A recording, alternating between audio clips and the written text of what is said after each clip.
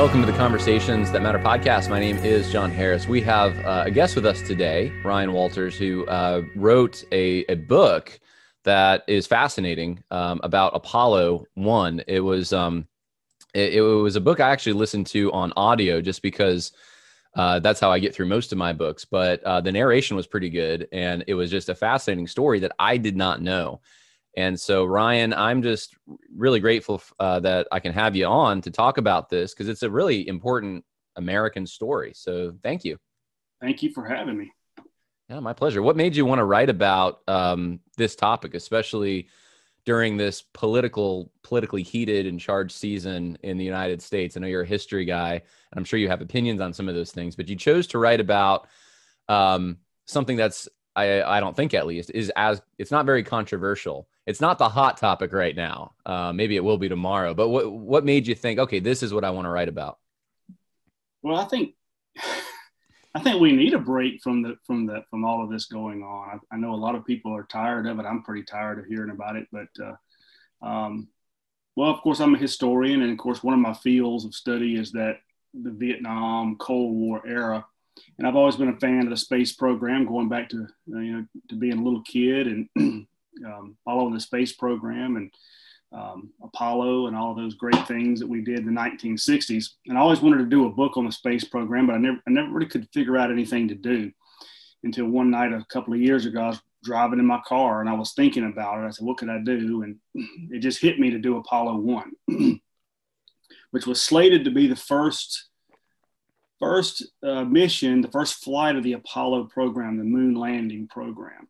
And it was set to, to go in February of 1967. and of course, there was a tragic fire inside the spacecraft on January the 27th, 1967. They were, they were not about to go into, into launch, into space, but they were doing a, a, a launch sequence, a test. It was called a plugs out test and uh, fire broke out inside the capsule because they were locked in the capsule.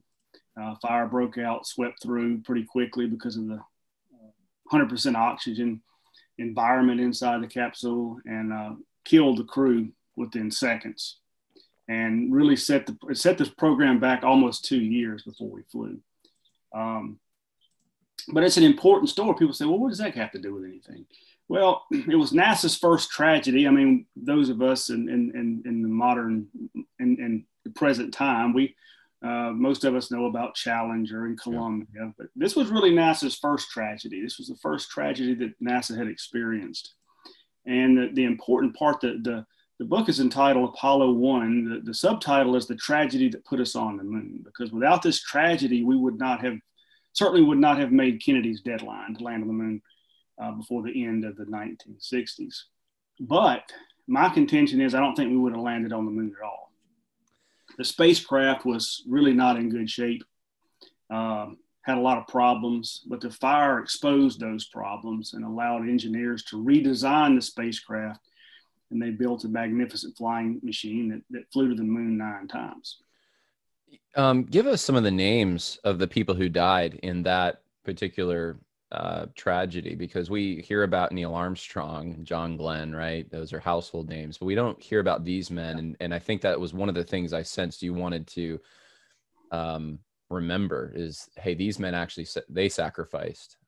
Yeah, everybody knows Neil Armstrong, John Glenn, Jim Lovell's uh, pretty famous because of Apollo 13, the Tom Hanks movie made his name a household, uh, pretty common um, household name. But the crew was, the commander was Gus Grissom. Gus Grissom was uh, one of uh, America's first astronauts. He was a Mer- one of the Mercury 7, one of the original seven astronauts. He was actually the second American in space in 1961. He also flew the first Gemini mission in 1965. Um, he was a test pilot, uh, a Korean War veteran, and uh, a heck of an engineer. He was he was one of the best engineers and the probably the, the best engineer in the in the astronaut corps. Um, as a matter of fact, the Gemini program, he was he was the the astronaut that really had the most to do with building that particular spacecraft. Um, he really went to he, it was built by uh, McDonnell, which is today McDonnell Douglas, but the McDonnell uh, aircraft company is the one that built the Gemini spacecraft and the Mercury spacecraft. And, and Gus Grissom was instrumental in designing the, in, in the Gemini spacecraft. As a matter of fact, they um, they nicknamed it the Gus Mobile because he had such a big part of it. And I actually I actually have my Gus Mobile uh, oh. shirt on. wow. um, so he was he was uh, uh, one of America's uh, original astronauts and, and, and, one of the best. He was the commander of the mission. Uh, the senior pilot was Ed White. Ed White came in in, the second group of American astronauts. Um, he flew uh, as the uh, pilot on Gemini 4. He was the first American to walk in space in 1965. Uh, Ed White. Uh, he had been an Air Force pilot, a West Point uh, graduate. Uh, the third member of the crew was the rookie, the lone rookie, and he was uh, Roger Chaffee. He had not flown. He'd come from the Navy. He had flown reconnaissance missions. He had actually flown uh, some reconnaissance missions over Cuba during the Cuban Missile Crisis. Uh, he had not flown in space yet, but he was uh, looking forward to his first uh, space mission.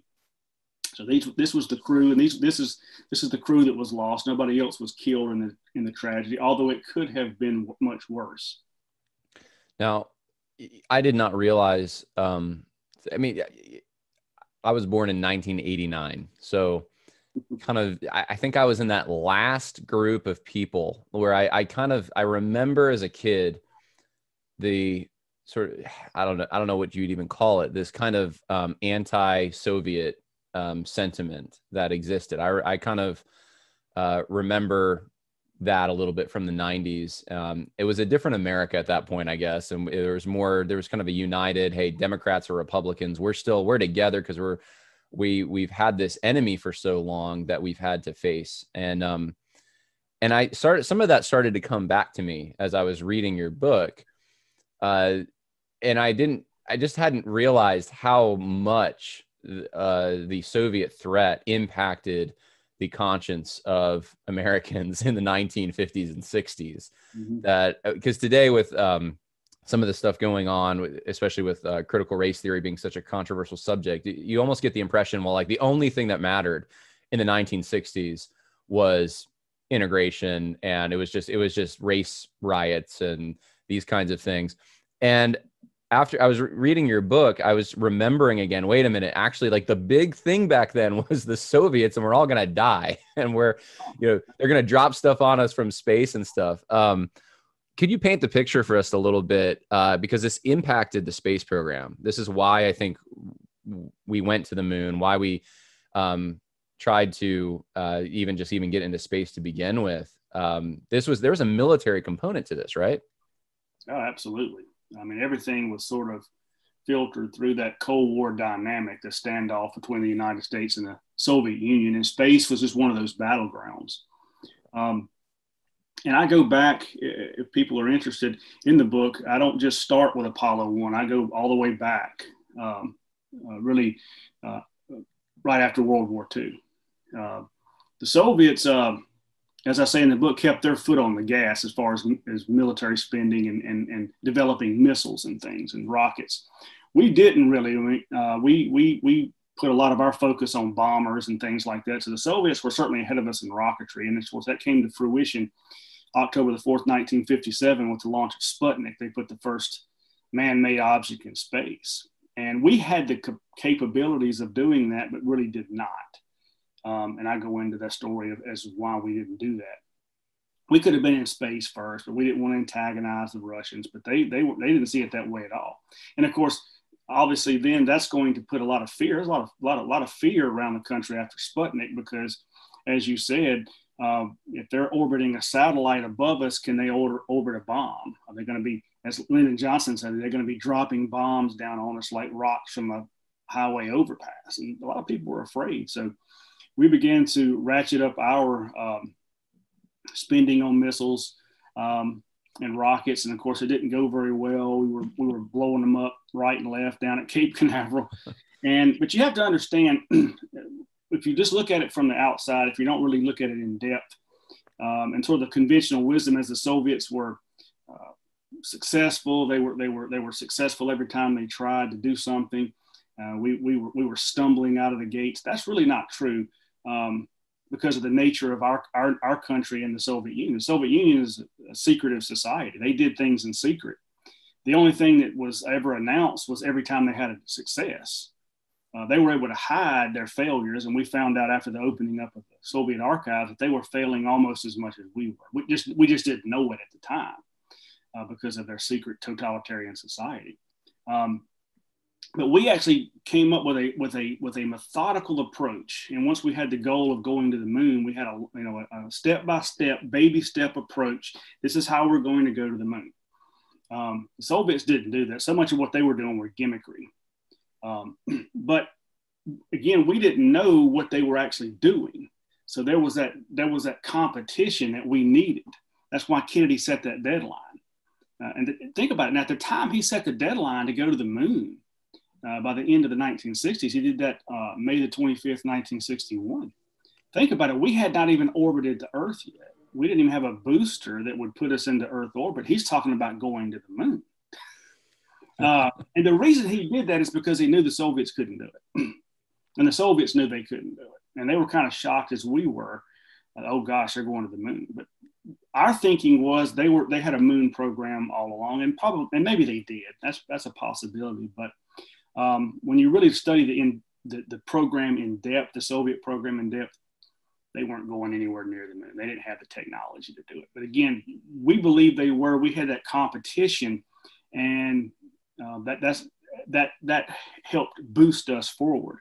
And, and Kennedy's deadline. If he hadn't have done that, if the Soviets hadn't been, we'd probably still be playing around trying to get to the moon. It was not there was not anything to push us. It was no boost it seems like it was a uniting effort uh, in a way. I mean, you had Republicans and Democrats actually trying to work together, and you you get into some of the corruption as well. It seems like there was a lot of corruption in who's getting the contracts, um, that kind of thing. Big part of the book, um, because you think about the, our Noble Space Program. I mean, that's something that all Americans are proud of. Hey, we went to the moon. That's one of our great moments. Landing on the moon, July twentieth, nineteen sixty nine uh, everybody's proud of that. And you don't want to think about NASA and the moon program being corrupted by politics. But I actually make this statement in the book that politics killed Gus Grissom, Ed White, and Roger Chaffee. And that's a pretty big thing to say. And it has to do with the awarding of these contracts. Now, we had three programs Mercury, which was to get a man in space, orbit the Earth. That's the only thing Mercury was doing. Gemini, they call the bridge, which is a bridge between Mercury and Apollo, where we sort of perfected everything we needed to do to go to the moon. Uh, long duration missions, spacewalking, rendezvous and docking, things like that. These are skills we had to perfect in order to fly to the moon. Of course, Apollo is the moon program.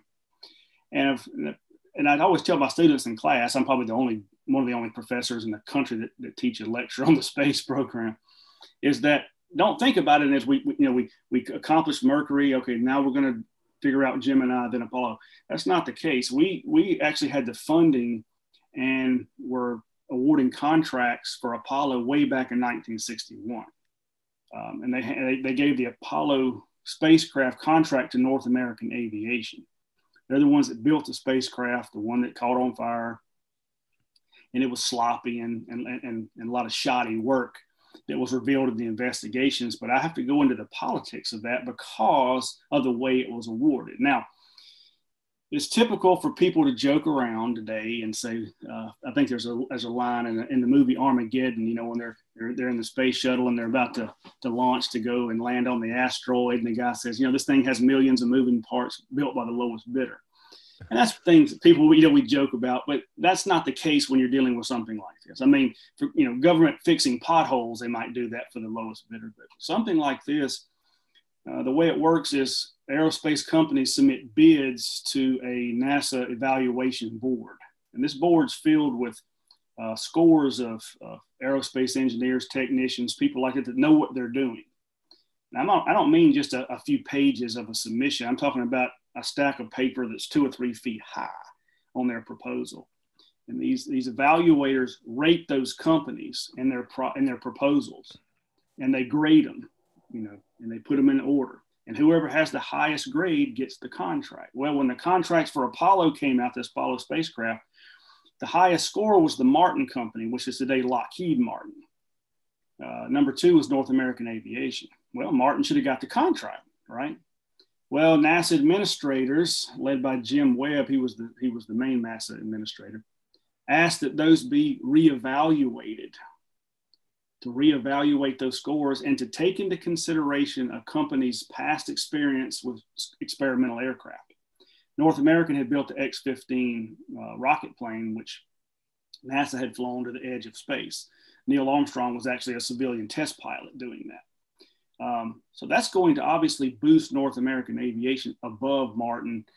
And that's what they did. And after they reevaluated it, North American had the top score and won the contract, uh, which is a huge contract. It's probably the biggest plum. And of course, then you have the accident and then people start digging into it. There was a few journalists that did. Congress did. Jim Webb actually went before Congress and lied to them about that because Congress, uh, there was a senator asked him, was North American Aviation the top rated company? And he said, yeah. And of course, Congress found out later that was not the case, that Martin had actually won the contract. And he had to go back and revise that statement about three weeks later. Um, so there was an element of corruption, and people think, well, that's not, you know, that kind of stuff have, probably happens all the time. But when you when you understand who Jim Webb was, the NASA administrator, he was a good administrator. Let me let me let me say that from the outset. Uh, he was a he was a top notch guy. He knew how Congress worked. He knew how to get the funding. You got to remember, NASA at the time consumed about five percent of the federal budget uh, on the moon program, and he was able to secure that funding to go to the moon. But um, he was an executive with the Kerr McGee Oil Company in Oklahoma. Senator Robert Kerr was a United States Senator in 1961, and he chaired the Senate Space Program. And he had gone to North American Aviation already and secured, said, Hey, look, I'm, what are you going to do for me in Oklahoma if I get you this contract? And they said, Hey, we'll put a plant in Tulsa. We'll hire 20,000 Oklahomans. Uh, and so he, he put his uh, uh, weight behind North America. Well, when Kennedy needed an administrator, uh, he turned that over to Vice President Lyndon Johnson. Lyndon Johnson went to Kerr and said, Who do I need as an administrator? He said, I'll tell you who you need Jim Webb, who had been an executive for Kerr. So you see the connections in there. And, and Kerr had already secured, um, uh, or already had basically promised North American the, the, um, the contract. Now, that's very in right. depth, and I don't want to go into all of that, but uh, there's a whole chapter on it, but you see the connections and, and how bad it looked. Um, um, North, American, for example, another another example is when they put everything in, in Tulsa, their plant, all their banking business, uh, they put all their money that they needed for their banking business in Oklahoma. They put it in banks that uh, where Webb and Kerr had stock. I mean, you know, it, it, so it was a lot of there was a lot yeah. of the web of intrigue, is what I call it. Yeah, and it, it did make me feel like I needed a shower uh, afterward. Very, very, it's very dirty. It is. Um, I mean, that's just that. That's government. That's just kind of doesn't matter what issue you're talking about. There's if someone can get a cut, they try to get one. Um, kind of moving forward, though. I mean, I know D- Donald Trump had his. I, I, was curious to ask you this. Donald Trump had his space. Uh, what do they call it? Space Force. He, he wanted to kind of reinvigorate um, I think for military purposes, but also maybe to unite the country because that was a something that united the country, a space program of some kind. And uh, that doesn't, I, I don't know whether that's actually going anywhere now or not, but it, it, you know, that seemed to be what he wanted to do. But you have also people today like Elon Musk who, mm-hmm. you know, they're shooting off their own rockets and they're more in the in the private sphere. Uh, he wants to populate, you know, the planets and and he's talking about these kind of things that were deemed crazy are deemed crazy kind of now, but so was going to the moon. And so um, I just w- w- would like to hear your kind of predictions. What do you think is going to happen uh, with with NASA and just with space exploration in general uh, over the next few years? Actually, I think actually I like uh, SpaceX and what they're doing. I think it's good because it's competition, and there are there are some other uh, private companies that are looking at doing the same thing. Um, that are, that are out here in Texas. Um, some have even looking at space tourism, you know, um, putting regular people in orbit or at least these suborbital flights. And uh, uh, I've heard they're they're pretty high price, couple hundred thousand a ticket, which which knocks me out of it. Unfortunately, but maybe they'll maybe they'll get well if, if, people buy your book, you know, you never know. I mean, couple, yeah, that's what I need. I need a, I need a, a thing. I need a couple hundred thousand people to buy a copy so I can send Ryan to space. Um, yeah, I, I was happy that Trump did that. I think that was part of the reason it was it's a unifying effort. You know, you see a lot of people. I, I see it out here a lot in Texas, just regular people with NASA shirts on and uh, things like that. And I, I, think that's really good. You go to these little stores, these novelty stores, they, there's a lot of NASA stuff. Um, there's a lot of excitement. Of course, that goes back, you know, Bush actually pushed uh, for a new space program because because the, the, shuttle was retiring and we, we had a new program called Constellation. And um, of course, when Obama came along, he cut that program.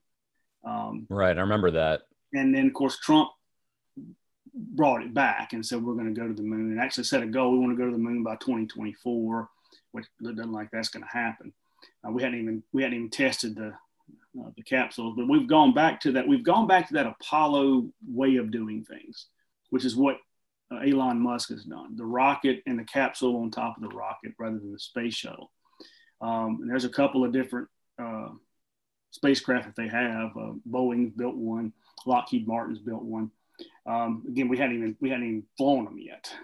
Which, but look at what Elon Musk doing some of these other companies, which shows you how much better private enterprise can do things. I mean, the government and people say, well, why is it NASA taking so long? Well, there's no there's no hurry. I mean, there's no deadline out there. Well, we're not trying to beat the Russians. Right. We're not. There's right. nobody to beat. Uh, the Russians, their program's actually falling apart. I mean, the, the International Space Station is due to retire in 2024 the Russians don't know what they're going to do because they don't have anywhere to fly to. If the, if the, and of course they're they're they're part of the space stations in really really bad shape. Um, so yeah, the, the uh, uh International Space Station is due to be finished in 2024.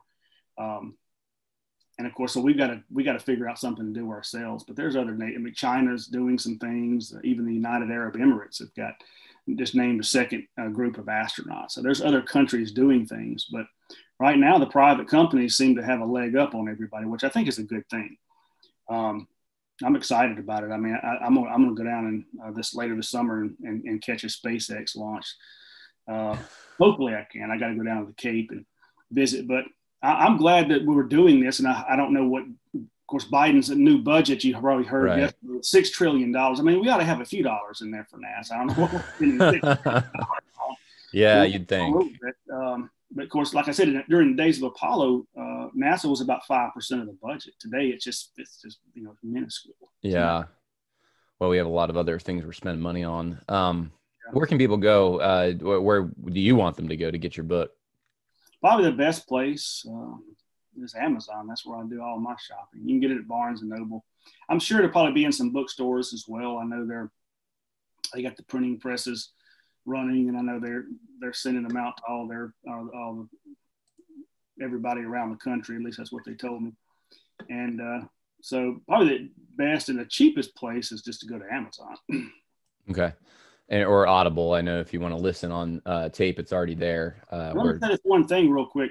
Yeah. The point of this I'm trying to make is again, w- w- without Apollo One tragedy, um, I don't think we land on the moon at all because I think I think without that fire revealing the problems with the spacecraft, uh, we would have had we would have had uh, another accident down the road. It, there was one coming at some point. If Apollo one had been successful, there was another one coming.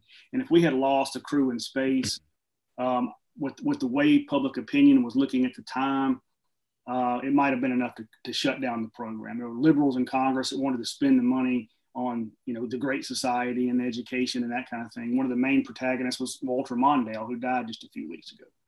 Um, so the point is, we were successful. Neil Armstrong, Buzz Aldrin walked on the moon in 1969, but it was it was the shoulders of Grissom, White, and Chaffee who they were standing on. Well, you know, their their sacrifice was not in vain. Without that sacrifice, we wouldn't have made the deadline and may not have made it at all. I noticed um, you snuck a John MacArthur quote in the book as well. I caught that.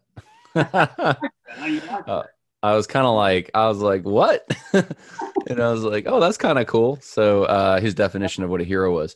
Yeah, I, I was looking for a, uh, perfect definition, and and I, and I John MacArthur's. I said, you know, that really says everything. Which that means something to probably a number of people in, in this audience. So Mm-hmm. figured I'd throw that out there. But uh, Ryan, I appreciate it. I to get Um, copy to John MacArthur, I think.